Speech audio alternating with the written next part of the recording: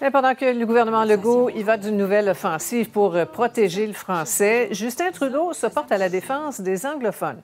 Selon lui, les politiques de Québec menacent leurs droits, une déclaration qui a écorché certaines oreilles. Alain Laforêt.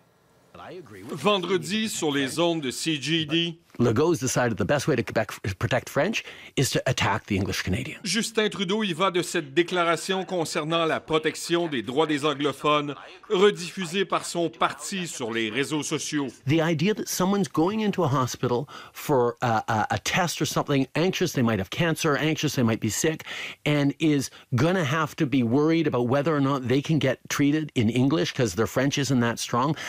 Just wrong. Questions orales, oral questions lundi, Justin Trudeau en ajoute. Je lui demande donc expressément, parce que telle est la loi, de reconnaître qu'il a induit les anglophones de Montréal et du Québec et de la Salle-et-Verdun en erreur. Le gouvernement du Québec eux-mêmes ont avoué qu'ils vont euh, émettre un décret pour euh, clarifier et expliquer qu'ils ne voulaient pas s'attaquer aux anglophones. On attend encore cette explication. La directive initiale était correcte. Certains l'ont mal comprise, puis ils ont diffusé soit leur incompréhension, soit leur démagogie. Euh, mais on a quand même décidé de réécrire un document pour être très, très clair, pour contrer cette désinformation-là. Le ministre Robert insiste. Et la communauté euh, anglophone du Québec n'est pas menacée par notre combat pour la langue française. Elle n'est pas menacée dans ses droits d'être soignée en anglais. Justement. Ça, ça commence bien la conversation. Bonjour.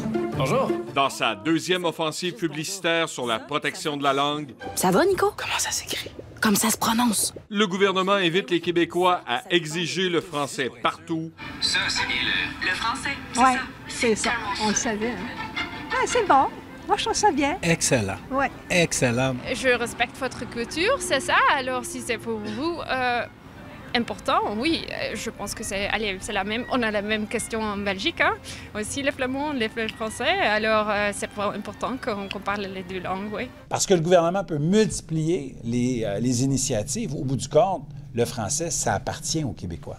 Nous sommes le seul État francophone en Amérique du Nord. C'est à travers notre langue que s'exprime notre identité et notre culture. Jamais je ne cesserai de la défendre. Ici, au Québec, c'est en français que ça se passe, a écrit le premier ministre. Alain Laforêt, TVA Nouvelle, Québec.